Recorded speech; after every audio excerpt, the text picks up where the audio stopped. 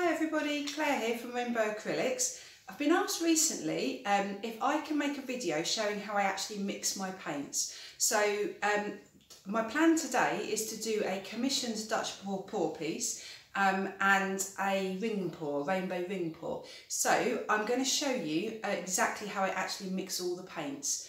Um, so I'm going to get started mixing the white. So let me show you what I'm going to do.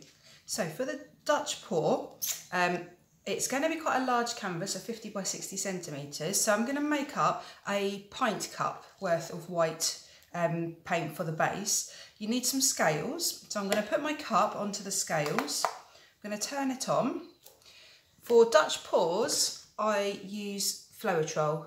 Um, now, I'm in the UK and I bought this from Amazon, UK in the UK, and it seems to be quite thick. So I've got my own recipe so I'm going to use two parts Floetrol to one part paint and then between one and a half to two parts water. So first thing I'm going to do is just put, I put it to zero, so I'm going to pour some Floetrol in here. So it's going to be roughly two parts Floetrol to one part paint. So let's see, so that's 140, um, 160, let's go for 200, nice round numbers. 200 grams of Floetrol. For my Dutch pours, I like using Amsterdam. I just find I get more cells, I get more really beautiful patterns with the Amsterdam white paint.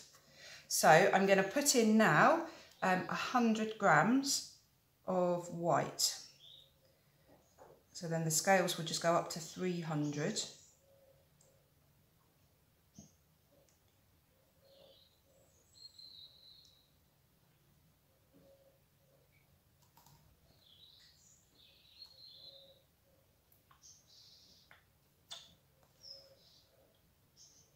300 exactly.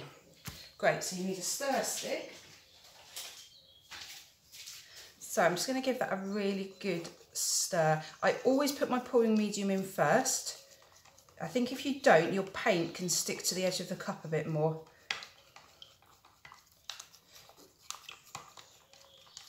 So with Dutch pours, you need it to be quite a nice, thin, runny consistency. So as it is at the moment, that's actually pretty good consistency for other techniques such as flip cups.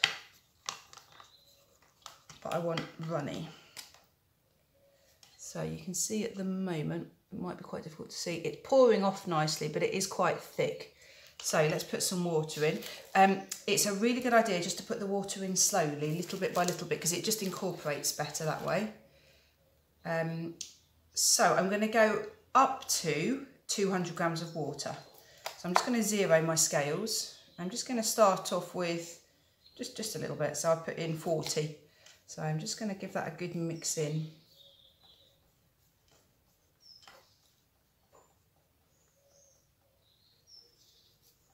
It's a good idea to do this in advance of your of painting, of pouring, because you'll get quite a lot of air bubbles in your paint when you're mixing it like this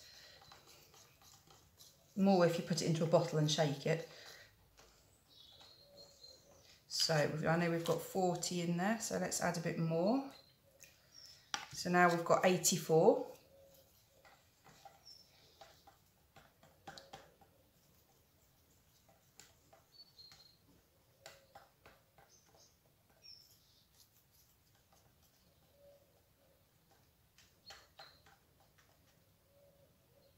It's getting nicer and runnier.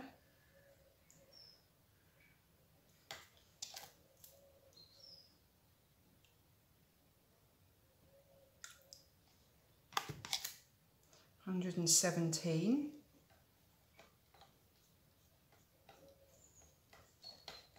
When you first put the water in and you start stirring, it feels incredibly runny. But then actually as you mix it with the paint, you can feel it thicken slightly. Now, one mistake I might have made here is that I might not have actually used a big enough cup or I've just put too much of each of the three ingredients in. So I'm just going to take this to 150. So that means I will have done two parts Floetrol, one part paint and one and a half parts water. 150. You can always add more water in. So go for less to start with. So I think I'll mix all my paints with that ratio, two to one to one and a half, and then have a look at them because each paint, each brand of paint and each colour of paint will have a different thickness to it. So you want to, with a Dutch pour, you want to get the paints to be all be exactly the same or near enough the same consistency so that they, they will all blow out together.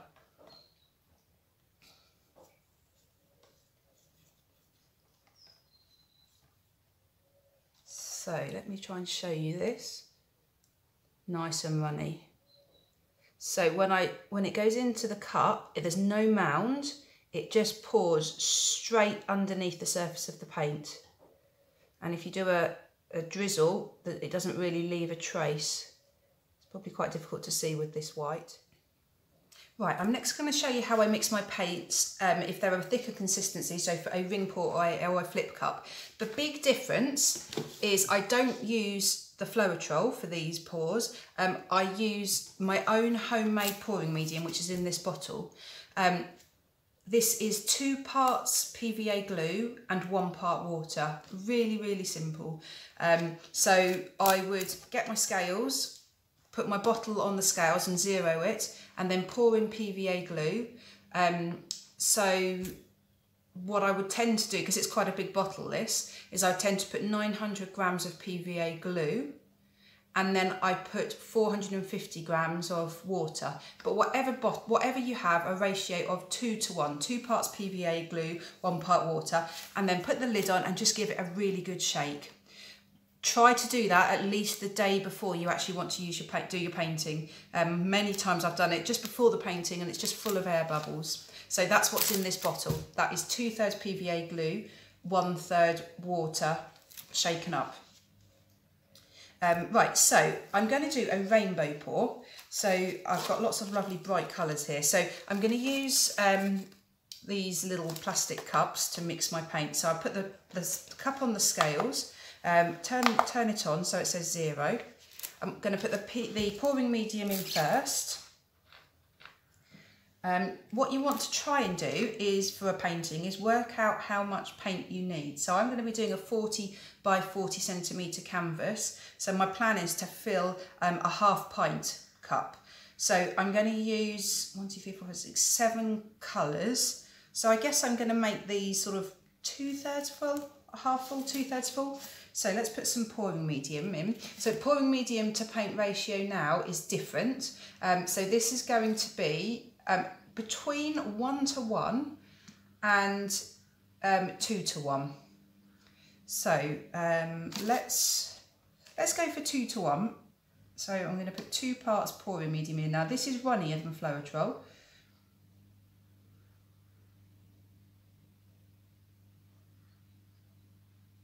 So let's go for, I'm going to say 60 grams of this. And I'll make up too much, but that's okay. I'd rather have too much than not enough. So 60 grams of my PVA pouring medium. So two to one ratio, and then we'll, we'll give it a stir and see what it's like. The difference here is I'm not going to be adding extra water unless I need to just to get the consistency the same as the other paints. So two to one, so 60 grams of pouring medium, that means 30 grams of paint. So it's going to go up to, the scales will go up to 90 grams.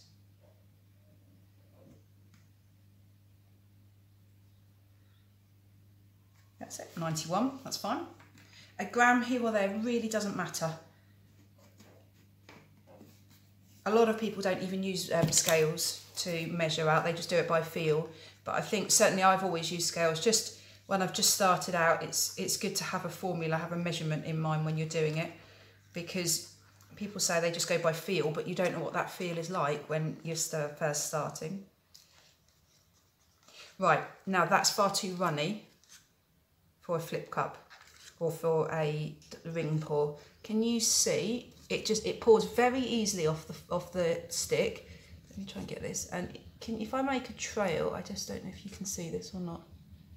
It just sinks straight away. You don't want it to sink. So I'm going to stick to my um, original plan, which is a one-to-one -one ratio.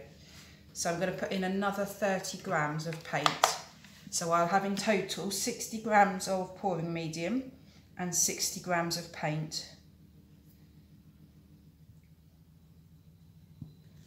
But again, oh that's a bit too much. Again, um, the paints, because they're different consistencies to start with, different brands and different colours, it's it you it's all it varies from paint to paint. So if you said a, a rough as a rough idea, a one to one ratio, half pouring medium, half paint, do that to start with. And then you can either thicken them up by adding more paint or you can thin them down by adding more water. Right, that's much, much better. So if I do this now, can you see it just makes a little ribbon? It just sits on top of itself. If It makes a little mound as it goes in. It still pours off nicely. So when this is pouring out the cup for the straight pour, it will still pour really nicely. But it just it just sits on top, it sits slightly proud on there. So I'm, I'm happy with that. So this particular paint is Artina, um, and I think they are quite runny paints. Let's try one with um, a totally different brand. Um, let's try my Essentials um, Royal and Langnickel Cadmium Red. So I'm going to do the same again. I'm going to have too much paint here, but it doesn't matter. I can use I can just use leftovers for another pour. So again, 60 grams of pouring medium.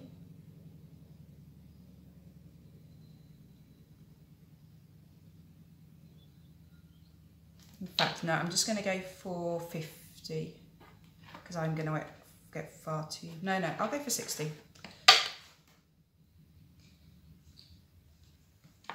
Sixty grams of pouring medium.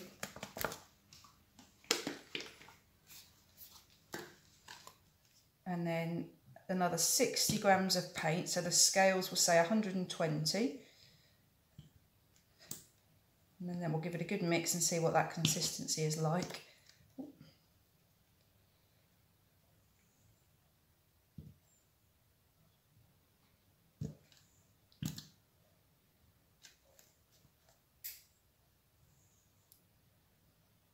Hundred and twenty.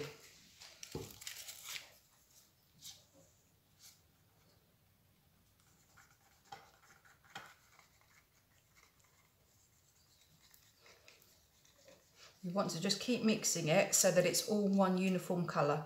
Um, if you can still see white streaks, that's still the pouring medium. So you need to just keep, keep mixing until it's all smooth.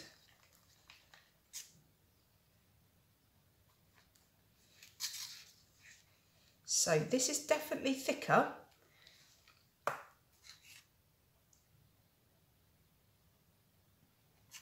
Can you see it's it's it's sitting a bit prouder.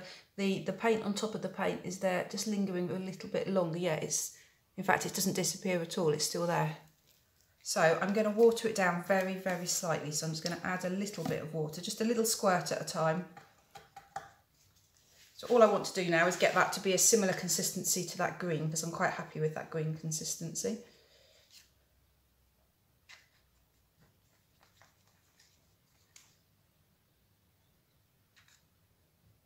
it's pouring nicely. So you imagine if that's coming out your cup, if you're doing a straight pour or a ring pour, it will just flow nicely. I'm going to go slightly thinner again though. I think it's still slightly thick.